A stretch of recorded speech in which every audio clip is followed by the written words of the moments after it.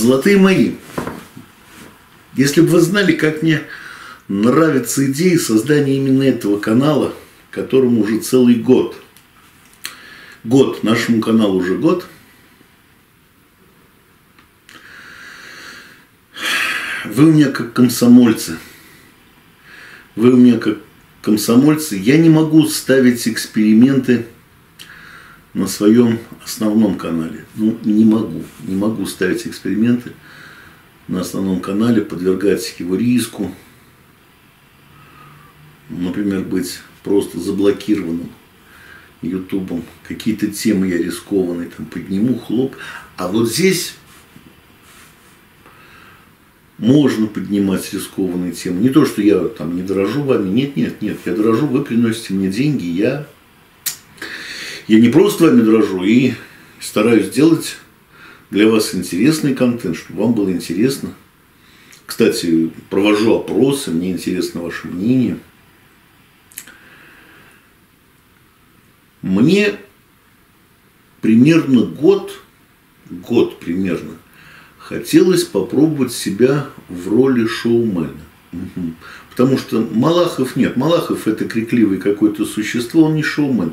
Шоумен был Владислав Листьев. Шоумен, э, без сомнения, Леонид Якубович. Вот я помню Владислава Листьева, я присматривался там в свое время к Леониду Якубовичу. Дэвид Копперфильд. Дэвид Копперфильд, это самое, он больше шоумен, чем фокусник. Вот мне хотелось попробовать себя в роли шоумена и показать какое-то шоу. Я придумал вот это существо. Это существо зовут Залупник. Его не существует в природе. Я его придумал, я его выдумал. Но мы понимаем, о ком идет речь, да?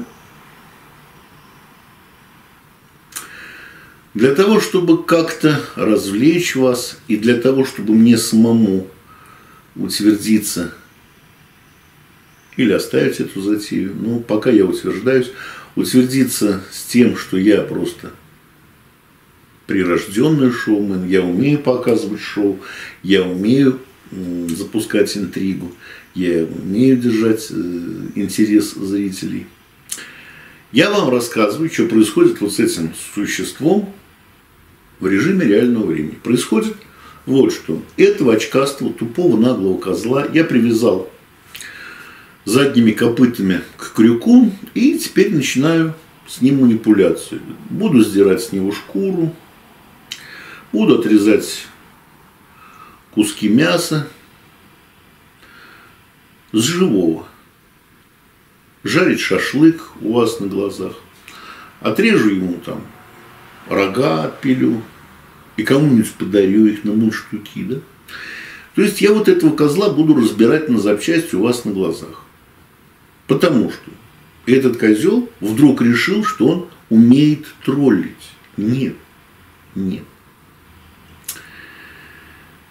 Троллить он не умеет, потому что нет ни ума, ни фантазии, ни учителей. У меня были прекрасные учителя. Я был жертвой троллинга и буллинга, все это я проходил. Тут у меня плюс еще моя собственная фантазия. Я не случайно провожу опросы на канале. Загоню я эту скотину стоило или не загоню.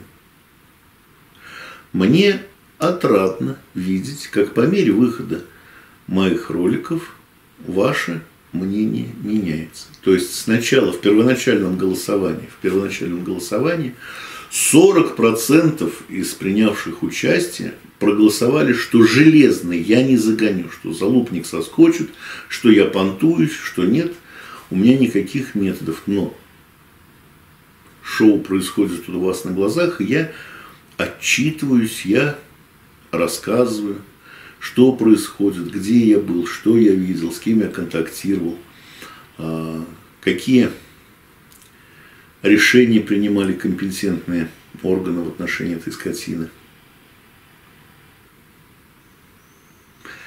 И мне видно, что сначала было 40%, потом 30%, и вот так тают. То есть сторонников залупника, даже не так, не сторонников залупника, верящих в залупника, что ему удастся соскочить из этих цепких лап, становится все меньше и меньше и меньше. Я думаю, что залупник сам смотрит эту статистику и понимает. Конечно, он тупая скотина. Но должен понимать, что да, все меньше и меньше верящих в него. Это тоже часть троллинга. Это тоже часть троллинга. Кроме того, это замер общественного мнения. Мне необходимо понимать, как я с вами взаимодействую, достаточно ли я вам даю информации о залупнике, о наших с ним взаимоотношениях. И главным образом не наших с ним взаимоотношениях, а об отношениях компетентных органов к залупнику. Потому что я же не своими руками буду с него шкуру снимать, меня чего доброго привлекут за это самого. Но у нас есть специально обученные люди, которые называются силовики. Вот им, значит,